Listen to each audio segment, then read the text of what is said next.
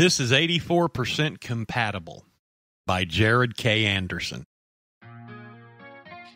The gap between Ted's front teeth opened onto a solar system buzzing with civilizations of light and power.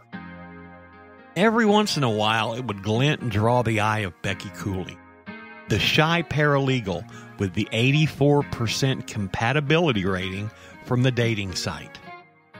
Ted found that trying to laugh behind his hands was kind of awkward. Trying to tilt his head down while he spoke was awkward too. He'd lost dates to awkwardness and to the bushy mustache he had used to curtain his upper lip for a few weeks in June. So Ted tried to talk with Becky head on, and her inevitable questions followed. Questions about the twinkle between his teeth, the sense of life and hope and industry in it. Ted felt his cheeks and ears getting hot, but he did his best not to sound embarrassed. He answered Becky's questions. He even did his best to answer the question she would think of later. He said, It's a solar system.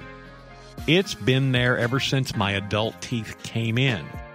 I don't know if it's a doorway or if the whole system is actually there in my mouth. I don't know if it will live on after I die. I'm not sure if the people there know about me or have ever tried to communicate. And yes, the government knows all about it. Becky went still, and Ted worried that it might have been rude of him to anticipate her future questions. The specter of awkwardness grew like an afternoon shadow. Becky didn't quite smile as she pushed her long brown hair behind her left ear and tilted her head. There, above her little gold earring, nestled in the folds of her ear, Ted could just see a bluish glow.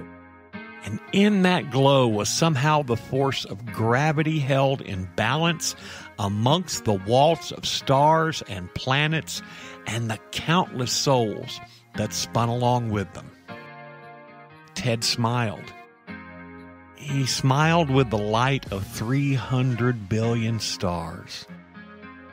Becky smiled back. The end.